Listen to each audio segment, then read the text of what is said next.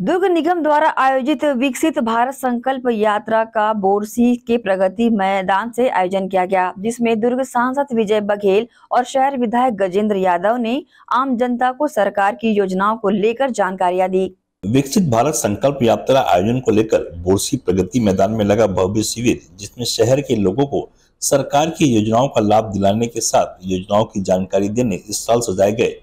इस अवसर पर भाजपा के दुर्ग सांसद विजय बघेल, विधायक गजेंद्र यादव सहित अन्य लोग शामिल होकर सरकार की महत्वाकांक्षी योजनाओं से अवगत कराया।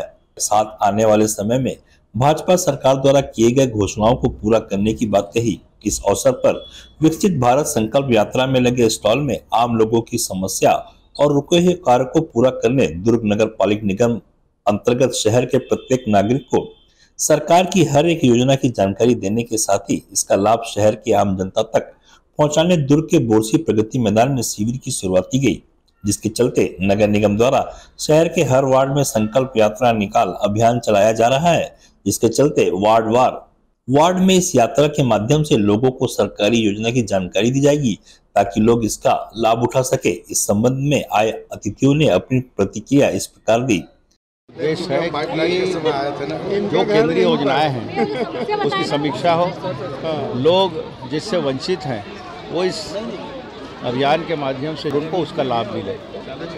जब देश के हर व्यक्ति के जीवन में विकास होगा, जब प्रगति आएगी, जब योजनाओं का लाभ उन्हें मिलेगा, तब एक विकसित भारत हमारा देश कहलाएगा। और उसी दिशा में हम आगे बढ़ रहे हैं। आज देख रहे हैं पूरे विश्व की नज़र भारतवर्ष की हो हो रहे हैं। और माननीय नरेंद्र मोदी के नेतृत्व में सबने संकल्प लिया है कि हम सब इस देश को उनके ही नेतृत्व में विश्व के विकासशील देशों से समझ खड़ा होकर एक विकासशील देश की लाइन में लाएँगे। और ये कड़ी उसी की है, जो विकसित भारत अभियान यात्रा चल रही है, उससे लोग कितने उत्साहित हैं, कितने उमंग से भरा इनका। उसमें हम खड़े उतरेंगे। अब हमारी डबल इंजन की सरकार है।